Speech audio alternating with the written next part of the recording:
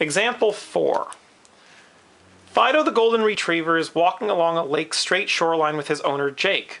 Jake picks up a stick and throws it into the water so it lands 4 feet offshore and 10 feet in front of it, 10 feet in front of where they are. Excuse me. Fido loves playing fetch and wants to get to the stick as fast as possible. He can run at 3 feet per second and swim at 1 foot per second. How far along the shoreline should Fido run before jumping into the water so he reaches the stick in the least amount of time? Now this is an example of a problem that would be nearly impossible to do without drawing the picture. So let's definitely be sure to draw a picture of this problem and label it with variables. Here we go. So let's pretend that this is the lake, all this area here. And it's a straight shoreline.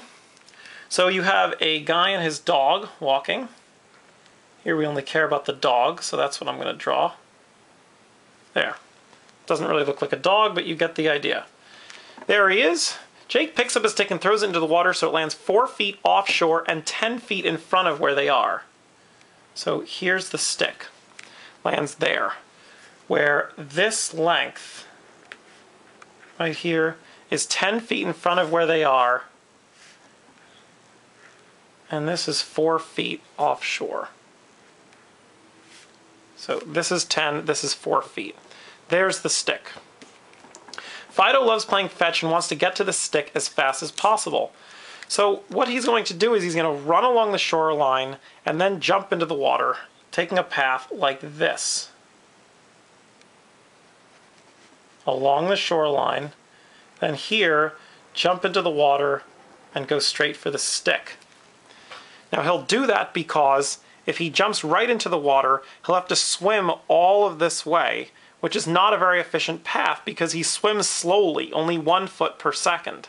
On the other hand, running all the way to this point, 10 feet, and then swimming straight is not a very short path. That's a long path. He'd be running 10 plus 4 is 14 feet.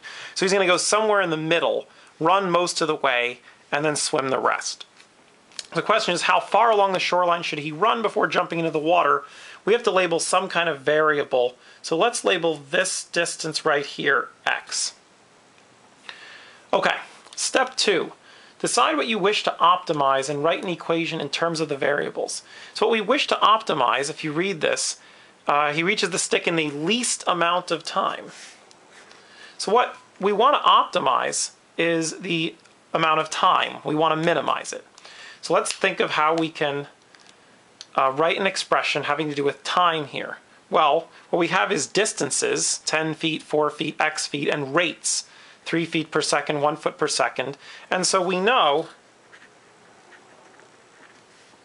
distance equals rate times time.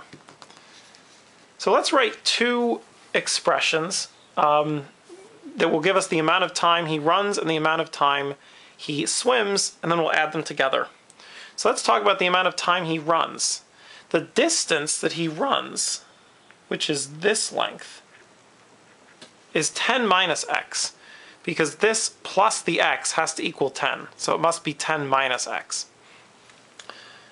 So 10 minus x equals the rate of running, 3 feet per second, times the time he spends running.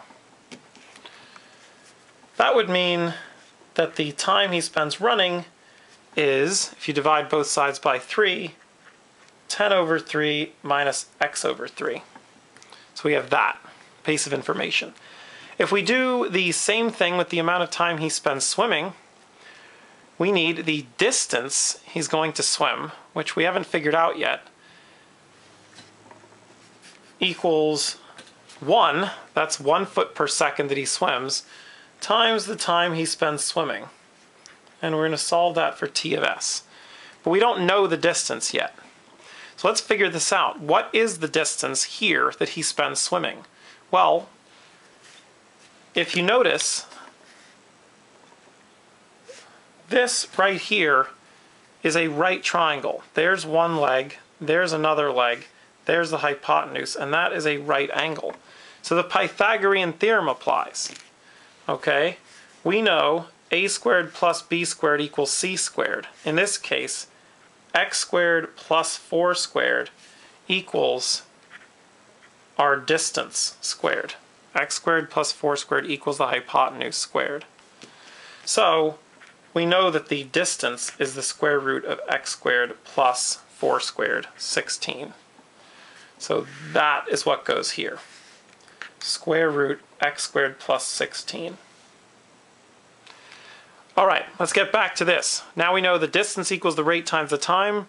This tells us, because that's just a 1, that TS, the time spent swimming, is just x squared plus 16. So now we know the time he spends running and the time he spends swimming. So therefore, the total amount of time that he takes to follow this path is time spent running plus time spent swimming, which is 10 thirds minus x over 3 plus square root x squared plus 16. Okay. Now, we just finished step 2. Step 3, if there's more than one variable, eliminate all but one of them. In this case, there is not more than one variable, so we're done with that. Next step, draw a graph of the function you wish to optimize. Let's graph this. Okay here we go. I'm typing in t equals 10 over 3 minus oh, x over 3 plus square root of x squared plus 16.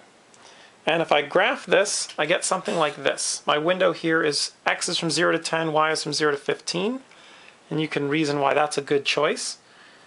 And it looks something like this. So it goes down a little bit and then back up. So my graph is going to look like.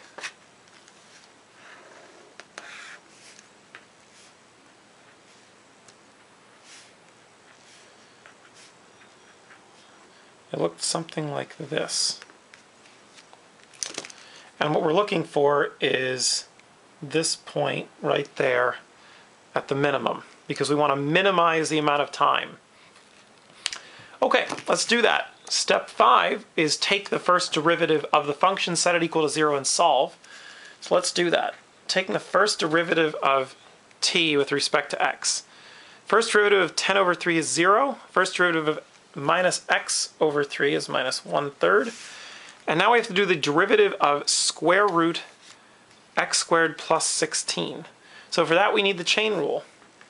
We need to think about square root x squared plus 16 as x squared plus 16 as one object, the inside function, to the half power. And when we take and we when we do that, we get 1 half x squared plus 16 to the minus half, which is this, 1 half x squared plus 16 to the minus half, times the derivative of the inside function. The derivative of x squared plus 16, which is just 2x. So, there we go. That's chain rule. Now we have to set this equal to 0. I'm just going to put the 2x on the top and solve this equation. Now the first thing you notice when solving this is that the 2's will cancel. So we cancel the 2's and move the minus 1 third over. We get 1 third equals x divided by square root x squared plus 16. Now, there are many steps you could take to get to the answer here, but I'm just going to do it by viewing this as a proportion and cross multiplying. So all of you have probably done this. 1 times x squared plus 16, is, or square root x squared plus 16 is the square root x squared plus 16. 3 times x is 3x. And at this point, we have no choice but to square both sides to get rid of the square root. That might introduce extraneous roots, but that's okay. We'll check them at the end. Squaring the 3x gives us 9x squared. Don't forget to square the 3. So now we've got this, and we're going to subtract x squared from both sides to get 16 equals 8x squared. Divide by 8 to get 2 equals x squared and take the square root to get x equals the square root of 2, which is about 1.414 feet. All right, now let's look back at the problem, at the picture. X we got is 1.414 feet, and in the context of the problem, it makes sense. He's going to run along this way until he's got about 1.4 feet left, until he until he would get to the closest point on the shoreline to the stick, and then he's going to give up and jump in the water. So um, let's see, what was the original question for part six? Remember, answer the actual question. And it was, how far along the shoreline should he run? So the 1.4 feet is not the distance along the shoreline, it's the distance he has left. So the distance he would run would have to be the other 8.6 feet. So he should run 8 point, trying to subtract this from 10. So what is that, 8.586 feet along the shoreline.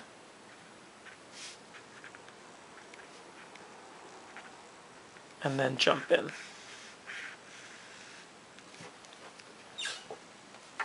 And that's it.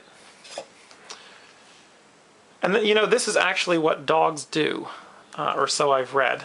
So they're not they're not stupid. They're not going to run past the stick and then jump in, or even run all the way here and then jump in. They know that the fastest thing to do is to run almost all the way and then jump in. Okay. Um, that's it.